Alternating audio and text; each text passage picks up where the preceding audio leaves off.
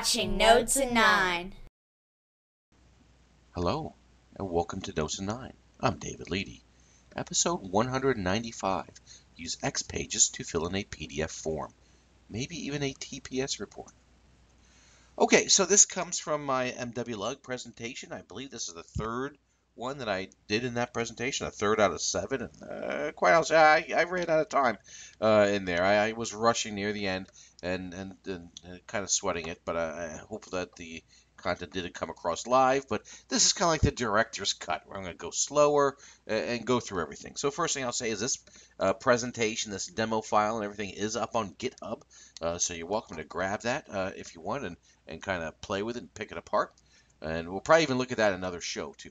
Um, so this is about creating a PDF form. So you're given a, a fillable PDF form. And I don't know how to make the form in Acrobat myself. I, I, have gotten these forms. I can change the field names, but I don't know how to make one from scratch.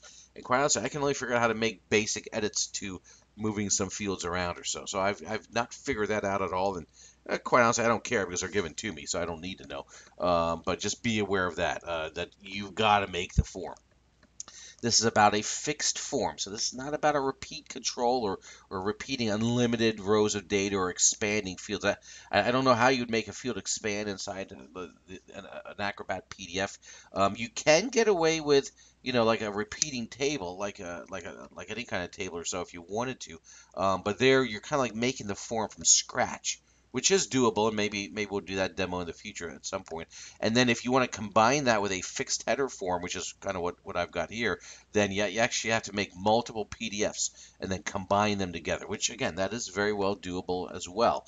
Uh, but the repeating stuff is is this demo is not about repeating information. This is about um, you know filling out a form. Um, I suggest that you don't have spaces in your field names. Uh, I didn't really run into a problem. I just saw uh, my fields come in with spaces, and it kind of like scared me, so I like to call the spaces out and, and, put the field names in the camel case. Um, in this case here, I, I imported um, the the PDF file itself into File Resources in the NTF, and I believe I forgot to show that in the demo, uh, but it's there. Um, under File Resources, there's there's an actual PDF file sitting there, uh, and again, I would avoid spaces in the name for that, um, just to keep it HTML friendly. Um, this demo uses iText 559. So they they made so many changes to iText. Uh, they skipped version six. They went right to version seven, uh, and I really didn't want to mess with that business. So we just stuck with what we know, which was 559. Um, and this is the link where you can grab uh, iText from. And I imported them as jars in this, but they could also be put into an OSGI library to make make available to everything on the server. Note iText is not necessarily free. Um, it's kind of like free to, I think, develop with and kind of play with, but once you start using it for real, for commercial purposes, then you got to pony up and buy a license. Um, I believe this could be done in, in Adobe, or not Adobe, in, in, in Apache Poi, uh, but I'm not sure. Um, and I've not done it. So if you want to do a show on that, let us know. Let me know. Uh, but I don't know a free way to do this because I've never tried to do it. We just use iText. And here's a screenshot of, of the, the jar files and stuff on, on the right hand side. Okay, so this is what the form looks like when I when I am given it and I put it into uh, Acrobat Professional. So so this is the form. You can't see the field names on the screen, but but somebody uh, drew up this form for me, and they, they did a good job, quite honestly. And this is what we use to ship things. It's our bill of lading. Okay, if I put it in more edit mode, here you can see it with the form or with the fields and stuff. So you can click on a field, and there's all these properties there. You can set the appearance. It's probably a dumb default tab to leave on. Should probably show on the field name or something like that. Uh, but you can kind of set a lot of things. You can set whether it's multi-line for the ship from, for instance, or single line by default or so. And again, that's just, just what it looks like. So how does this work? Well, uh, we're going to use an XAgent, though of course you could use this as, as a pure servlet too. And the XAgent is just going to call Java code to build this um, PDF. Um, I'm going to call the Java code from server-side JavaScript because it's like two lines and it's easy. So uh, why not? You know, why, why, go through too much hassle, you know, to avoid server-side JavaScript you don't have to. So we're going to basically say this report equals new com.notes9.itext.pdf.bll. That's my class. And then I'm going to run the do report method. And that do report will will find any uh, URL parameters that it needs that you can pass in with it, um, and and and then work on it.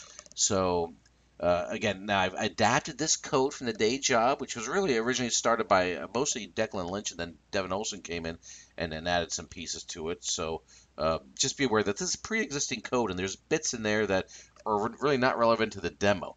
Uh, this was made for uh, multiple PDFs combining, and I did leave that code in there um, just to give you a, a starter look in case that's something you might be interested in.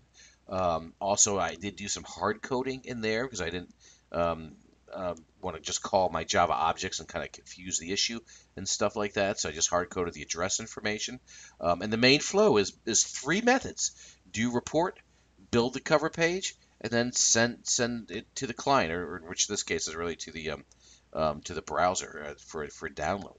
Um, and I do show how to read from the URL to get any custom uh, properties, you, you know, parameters that you want to pass in. Okay, with all that being said, let's go to the demo.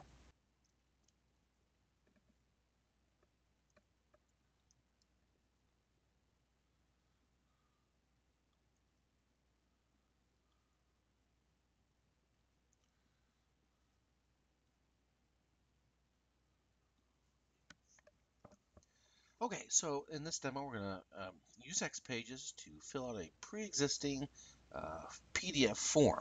So let's see what that looks like. I click on PDF form. Uh, I have it uh, triggering a, an automatic download at this point, so it did. Um, and we look at, so this is just our, our shipping form, uh, basically, and you can see that I've filled in uh, certain amounts of information, uh, little dots here for the like radio buttons, ship from, ship to, um, etc. You know, so let's see what that looks like. Close that. Okay, so uh, the, we start off with this PDF page, report generator, and all this is, this is an XAgent. Um, and in this case here, I'm not doing any server-side JavaScript really. I'm, I'm just saying, um, uh, I'm just calling a Java class um, with this server-side JavaScript, but the Java class is going to do all the work. So renders false, call this Java class.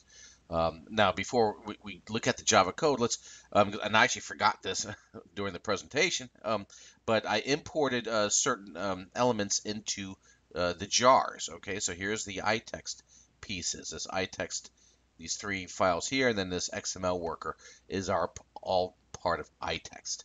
Okay, um, so there. Okay, so we call this um, IBM or com.notes9.itext.pdf.bol. So let's find that. So that's th this guy right here. Okay, now uh, again, I, this this is code that comes from the day job, and the original code combined made a big report out of multiple PDFs. Okay, so we were generating multiple PDFs. We combined them into one to produce a bigger report.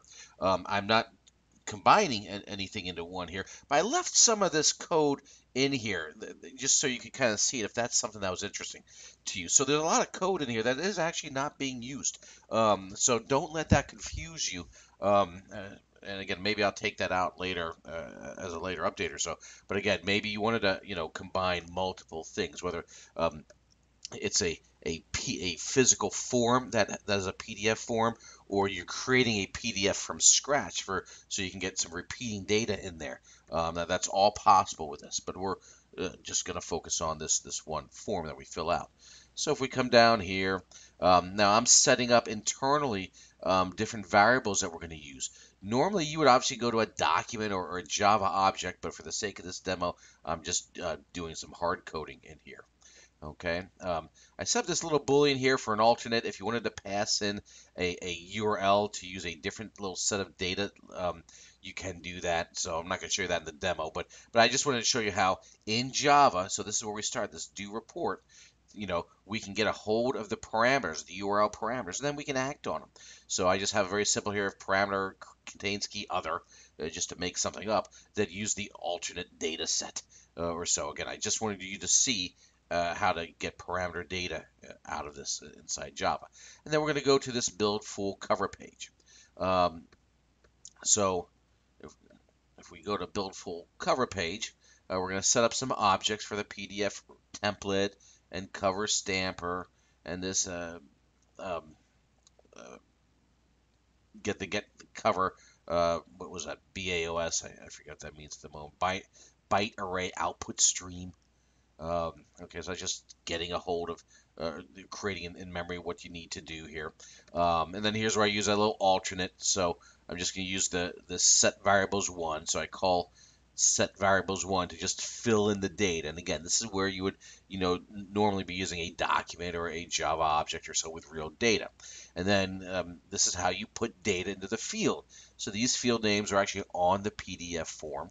Um, so it's PDF cover stamper, which is created from here. Get acro fields, acrobat fields, and then that set field. And you, you are going to have to kind of be careful with data types or so because it is kind of picky here.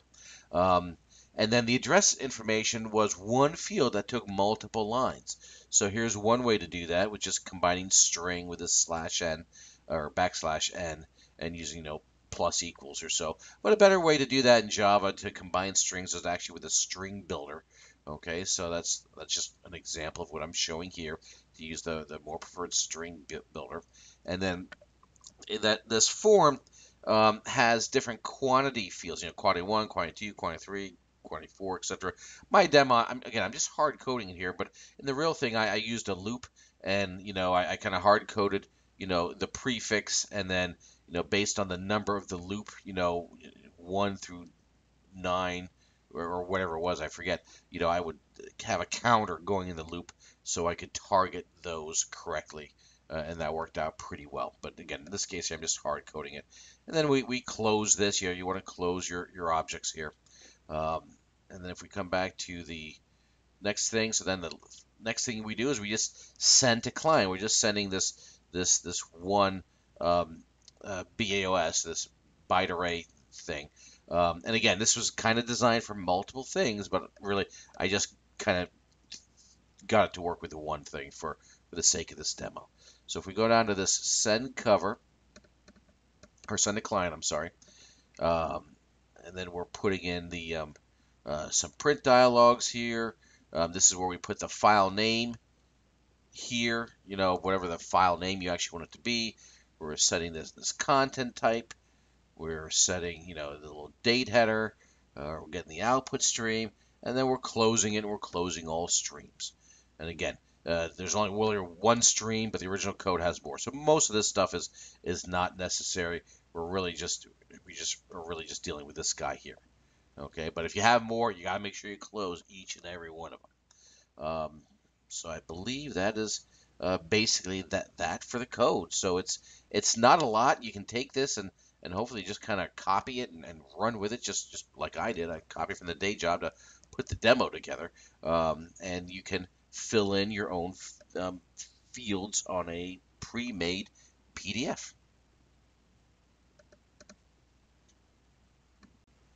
And that's the demo. I, I, hope you like that. This is one of the better ones, I think, because it's very, very usable if, if, if you do have this need of, of filling out more like governmental type forms and stuff like that. Uh, so I'm pretty proud of this one. Uh, if you have any questions for me, um, here's my contact information, and I thank you for your time.